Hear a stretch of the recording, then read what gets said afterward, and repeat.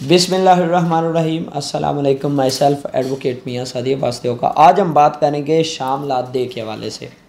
मुमन आपके पास क्लाइंट्स भी आते होंगे कि जी, वो हमारा जो घर है, वो शाम लात दे में है। या शाम लाट का लफ्ज़ यूज़ करते हैं, या वो लफ्ज़ यूज़ करते हैं कि जो वो रकबा जो वो लाल लकीर के अंदर है।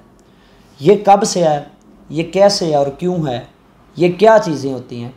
मज़ीद आगे बढ़ने से पहले चैनल को सब्सक्राइब करें, वीडियो को लाइक करें और शेयर करें। अब आ जाते हैं इसकी थोड़ी सी हिस्ट्री की तरफ़ से कि ये शामला देख क्या था और लाल लकीर क्या थी और ये क्या चीज़ें क्या हैं। अठारह सौ उनचास में ईस्ट इंडिया कंपनी की तरफ़ से सूबा पंजाब की तश्कील के बाद गैर आबाद ज़मीन के लिए यह असूल तय पाया गया। यह असूल तय किया गया कि जो इस ज़मीन पर जाकर कुआँ खोदेगा, वो इस ज़मीन का मालिक तस्वर होगा। ठीक है? ताम इस मकसद के लिए मुआजात की तश्कील हुई। खेवटें बनाएँगी और हर खेवटदार को, हर खेवटदार को माल के दही कहा जाने लगा। ठीक है? इसके बाद क्या हुआ? इसके बाद ये हो गया, फिर ये निज़ाम मज़ीद तश्कील होता गया और 1901 तक बरसगीर के दीगर इलाकों बशमूल खैबर पख्तूनख्वा तक भी ये निज़ाम तश्कील हो चुका था 1901 तक। उसके बाद आला मालिक और अदना मालिक ये जब मालिक निज़ाम पूरा हो गया, उसके बाद जी आला मालिक की दो किस्में यहाँ पर बयान करता चलूँ कि आला मालिक वो होता है जो जायदाद का असल मालिक होगा, जिसके पास जायदाद शुरू से वरासती चल रही है। जबकि अदना मालिक वो होगा जिसने आला मालिक से जायदाद ख़रीदी होगी, ठीक है? और आबादी दे उन इलाकों में रहाइश, मंदिर, मस्जिद वगैरह के लिए भी लाल किरे खींची गई उन दौर में, ठीक है?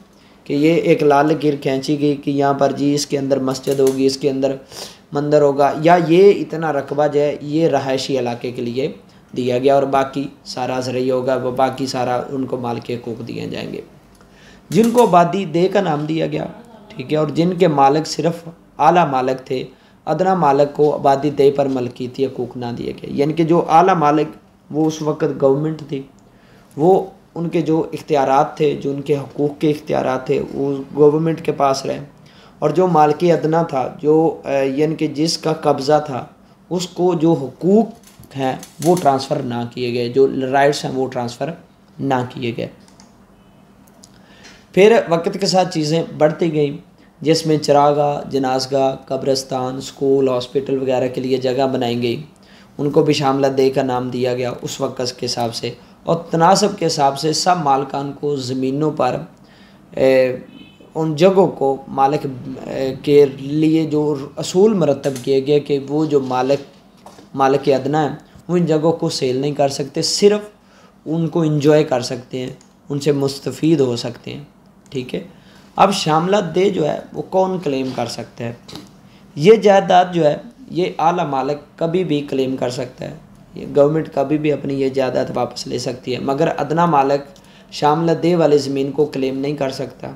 ठीक है? वो सिर्फ़ चूँकि आला मालक ने अदना मालक को सिर्फ़ कब्ज़े ही दिया गया। ठीक है? क्योंकि जब लाल कीरें बनी थी तो उस वक़्त महकमा माल के रिकॉर्ड में आला मालक नाम शामल दई तौर पर तहरीर किया गया।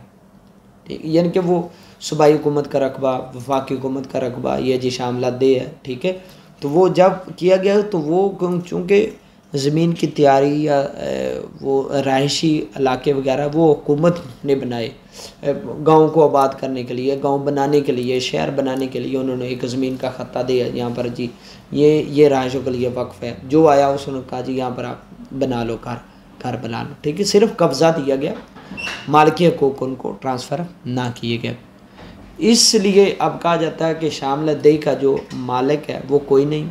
हालाँकि इसके मालिक अभी तक मुश्तर तौर पर आला मालिक हैं, ठीक है? वो कभी भी क्लेम कर सकते हैं। क्योंकि शामल दही अमूमन हुकूमत की ही मलकियत होती है और हुकूमत जब चाहे, इन इसको क्लेम कर सकती है, ठीक है? इन किसी नेक्स्ट वीडियो में आपके साथ मुलाकात होगी, तब तक के लिए अल्लाह हाफ़